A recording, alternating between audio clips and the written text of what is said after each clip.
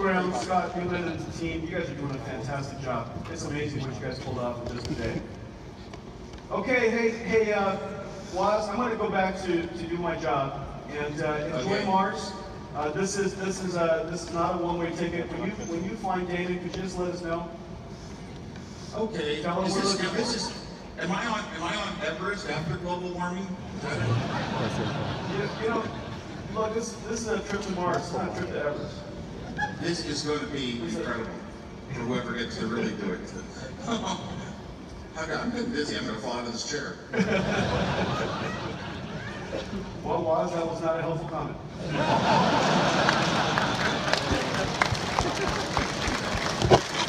All right, brother. I'll let, yeah, I'll let you know when you can help me again. Oh my gosh, why didn't think of this? Right, you guys. Thanks a lot, Steve. Enjoy Mars. First astronaut on Mars. Okay, so so virtual reality. In these in these examples, we're trying to make virtual reality as realistic as possible. However, in many different types of applications, for example, design, product design, architectural design, realistic is not enough. It's got to be real. It's got to be photoreal. And in that particular case, you need a whole new type of rendering technology. So the rendering technology that you were selling, they were running on a GeForce GTX Titan. That performance is really fantastic. However, that level of performance is simply not enough if you want to create something that is really photoreal. In order to create something photoreal, you have to follow photons as it bounces around the room, as it bounces through, as it goes through glass, as it refracts, as it picks up different, as the wavelength of light changes when it interacts with different surfaces. All of that has to be physically simulated, or your eyes simply will not believe that what you're looking at something is photoreal. Now, in the case of design, it's utterly important. So, ladies and gentlemen, today we're announcing iRay VR.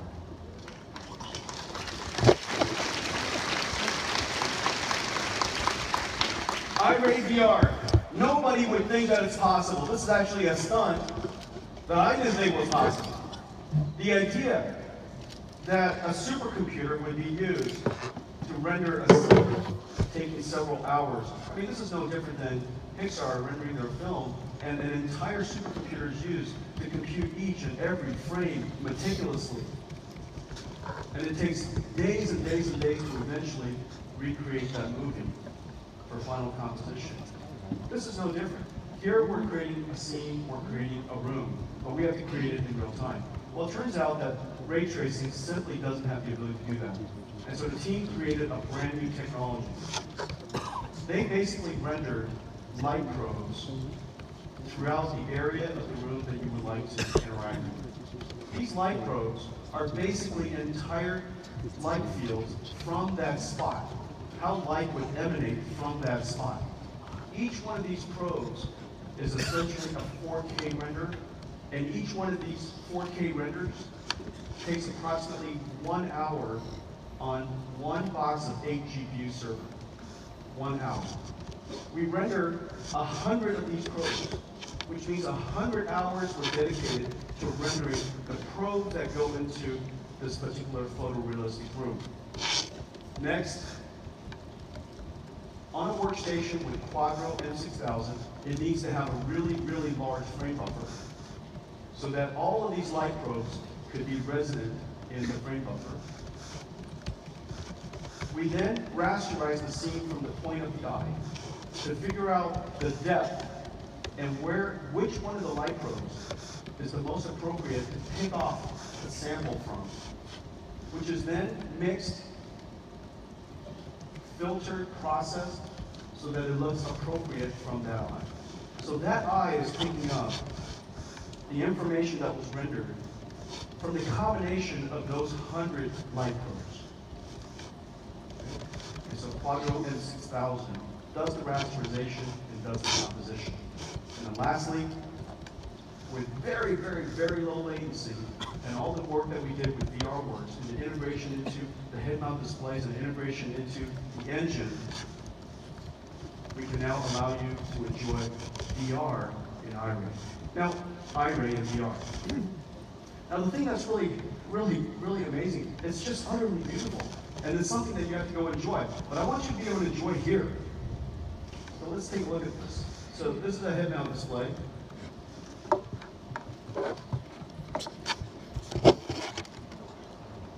What you're looking at, what you're looking at is NVIDIA's new headquarters. And in fact, until this was done, until they did iRay VR, I had never been inside my building before. Now this building is designed to be energy efficient. And so all the windows that you see in the ceiling is intended to let light in. But just enough light, and the light and the angles of those triangles are designed so that during different times of the year, the light doesn't come into the building and heat up the interiors of the building, making it uncomfortable. And so we're trying to use as much natural lighting as possible. And so the, the rendering of this building and making sure that it's comfortable, well lit, and uses as little energy as possible is really important. Look at this. The polished concrete. I have never been in our building before. All of this is in real time, and it's in 3D. And the lighting is so beautiful. I think I'm going to go ahead and finish this building. 500,000 square feet. It's to house somewhere between two, 3,000 employees. This is our phase one. And that is a building inside a building. It's the heart of the building. You come in through the center of that you park underneath this building. We put all the cars underground because, you know, here, here in Silicon Valley, our, our weather is really fantastic. And so no sense, no sense uh, reserving all that wonderful climate just for, just for cars. So we put all the cars on the ground, and eventually one of these days, all the cars will park by themselves. And so you'll just get out, and your car being understands this ramp, parking space, and, uh, you know, the building. Okay? iRay VR, you guys, this is really incredible. 100 light codes. Well, not too many people have supercomputers though. Not too many people have supercomputers with iRay on it. You hit a button, it goes off and renders 100, 100 light probes. It goes off and renders light field from 100 different positions. And then you put that on a workstation, you put that head mount display on, and it's rasterizing in real time, and then recompositing from those 100 light, light probes to create this virtual reality environment. Well, this is going to be unbelievable for people who are doing architectural walkthroughs. It's going to be unbelievable for people who are designing cars, people who are doing serious, serious projects. However, virtual reality has taken off everywhere, as you know. Cardboard, Google Cardboard is being handed out to everybody. Was distributed by New York Times. It's available on Samsung Gear VR. It's going to be available on mobile devices all over the world. We want people to be able to enjoy VR, irrespective of the computing device they have. And so one of the things that we're going to do, and this is really exciting, we made iRay VR Lite. This little brother of iRay. Basically, the it it's not able to render the full 3D as beautifully as iRay VR. However, with just a press of a button, so long as you design in 3ds Max or Maya or whatever design tool that has iRay integrated, with just a press of a button, it creates a photosphere. Creates a photosphere. And that photosphere is completely ray traced. That photosphere is completely ray traced. You download, you know, your plugin, iRay plugin, where it's integrated, and then you download an Android viewer, and you grab yourself a cardboard box, the Google Cardboard, which is fantastically clever, or you get a ViewMaster with a phone stuck in, inside it. You download this app, and you now enjoy VR. We have this experience um, at the show floor. Give it a try. It's really, really fantastic. iRay VR. It's our second thing. So now let's let's talk about something really big. You know, VR is going to be an incredibly big platform. I'm super excited about that. One of the biggest things that's ever happened in computer graphics. But one of the biggest things that's ever happened in computing. And I think we're going to realize, looking back, that this is one of the biggest things that's ever happened is AI. Five years ago, five years ago, the big bang of modern AI happened. amazing AI computer scientists discovered new algorithms that made it possible to achieve levels of results of perception using this technique called deep learning that nobody had ever imagined. At the confluence of several things happened. The availability of lots of data that was labeled, and the availability of a processor called a GPU that was really abundantly used, abundantly available, came together and created the big bang of modern design. Over the course of the last five years, so much development has happened. You have seen one announcement after another announcement, one article after another article, and there's so much to capture. But I think as we look back on 2015, 2015 is going to be a defining year for modern AI, and I argue for computer science, for computer industry, and very, very likely for all of humanity. That this year marked something quite special. That every year is a good year, but 2015 was a very special year. This year, something happened, and I selected a few to talk about. ImageNet, Microsoft and Google, Microsoft and Google, using deep learning techniques, was able to recognize images better than a human for the very first time. A software program is able to perceive the world. A software program is able to perceive the world. A single algorithm is able to perceive the world better than any human. And then Microsoft took that level of accuracy and doubled it using a very super deep network. Whereas AlexNet was about 18 layers deep, their network was 180 layers deep. These networks are now so deep, it's able to pick up subtleties and nuances in images. And its ability to be accurate, unsurpassed now by any superhuman levels of capability. But the thing that's really cool is it wasn't being trained, the people are finding new application for it. It's not just images. Now researchers at Berkeley, at the, at the uh, Berkeley AI Lab, was able to use the, these same deep learning algorithms, the same deep learning networks, combined with reinforcement learning, and taught a robot how to control its own motor skills.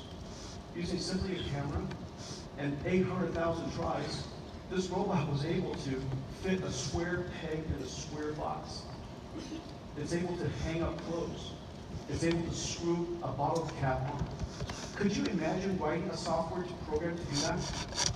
To screw on bottle caps?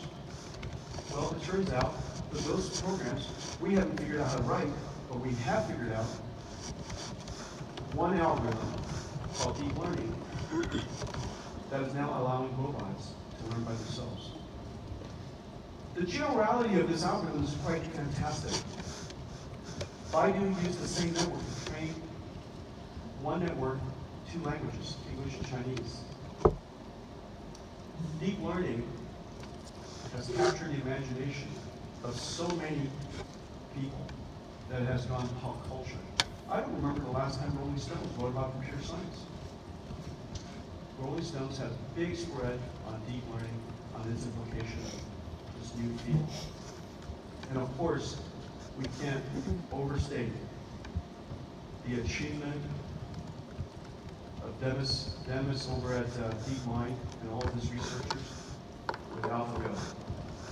You simply can't overstate the importance of it. This is a simple, a, sing, a simple game, a simple game, 19 by 19 grid, 300, 365 places you can play, place a stone, a black or a white stone, and the purpose of this game is deceivingly simple.